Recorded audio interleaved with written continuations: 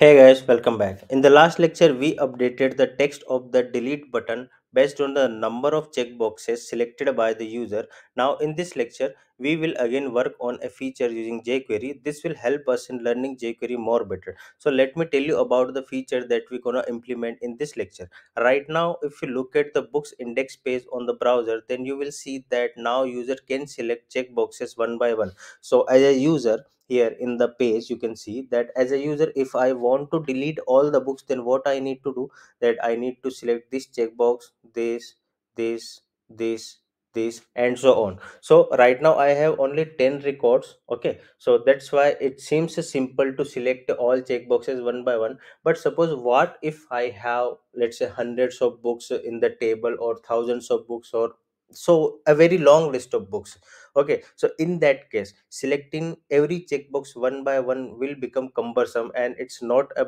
very good user experience.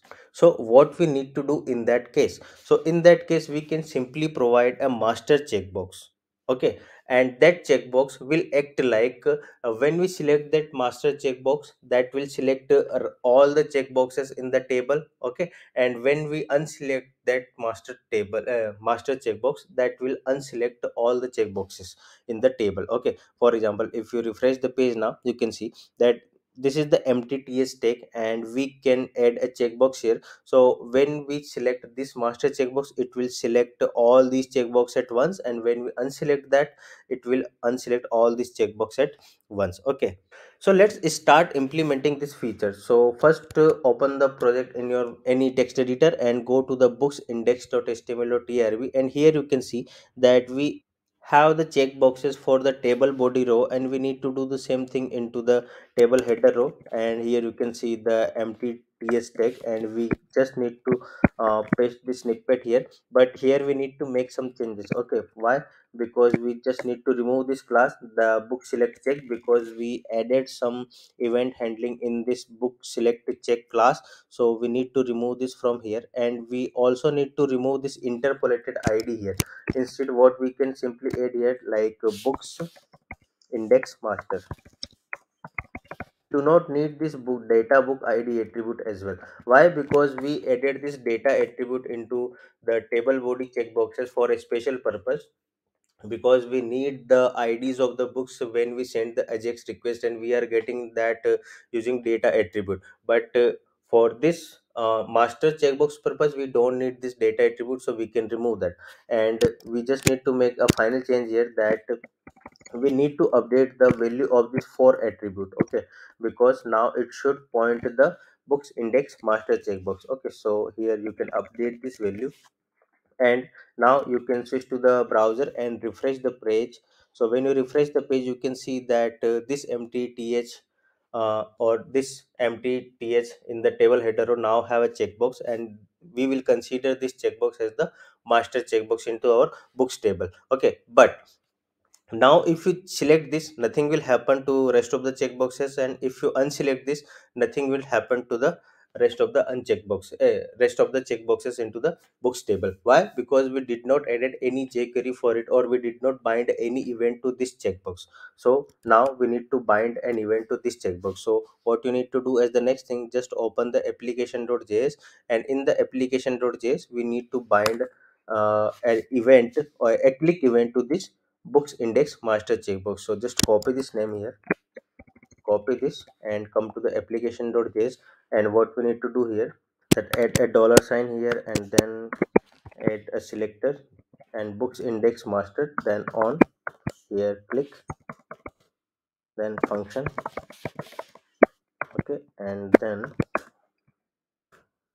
in this uh, event uh, binding what we need to do first you can see here that we need to set the property of these checkboxes with the property whatever we have for books index master. Okay so here you can see.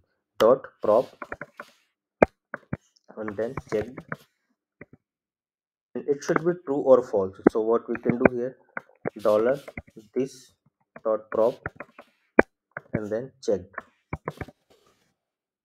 Okay so now properties of these check boxes will depend on the property of this check uh, this checkbox that is master checkbox books index master. If this checkbox is checked then all these checkboxes or all the checkboxes with this class will have the property checked true. And if this checkbox is unchecked then all the checkboxes with this class will be set uh, to uh, property unchecked or property checked false. Okay so now save this and shift to the browser.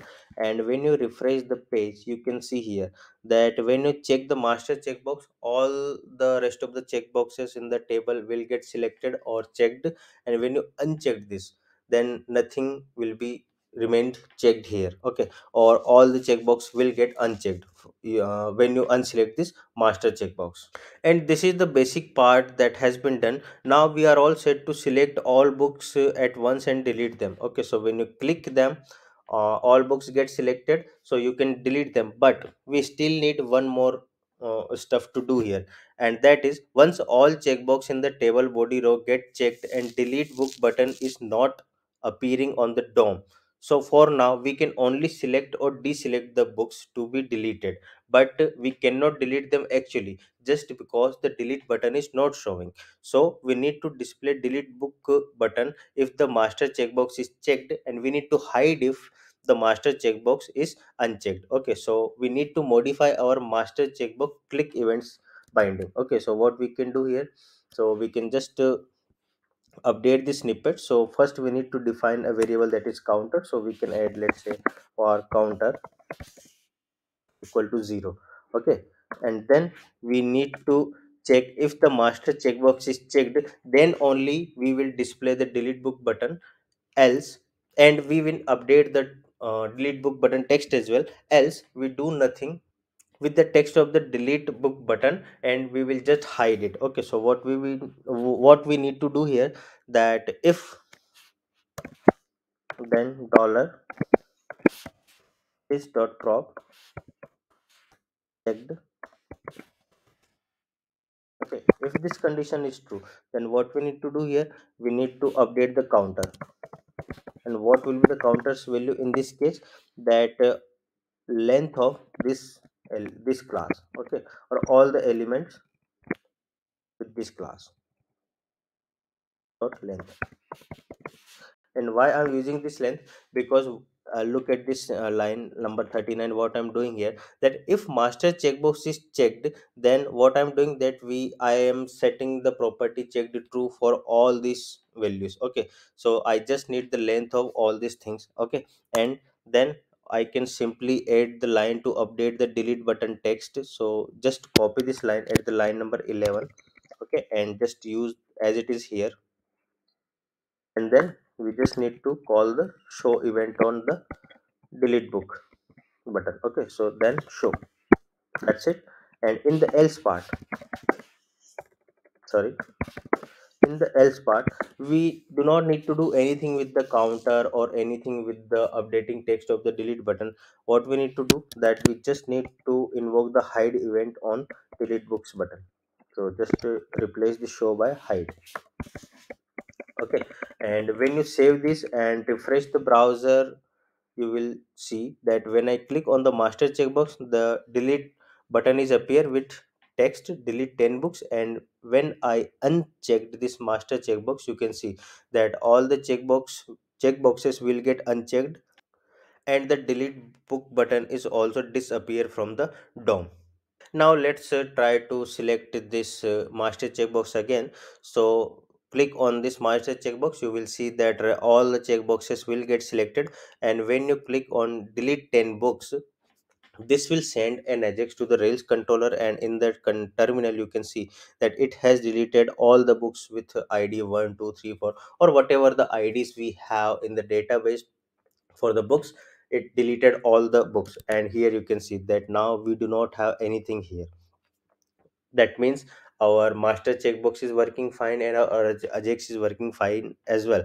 However such actions can be risky without any alert i mean it is possible that user might select the master checkbox by mistake and if he wants to click on the delete books then you must show some alert message if they really want to perform this action.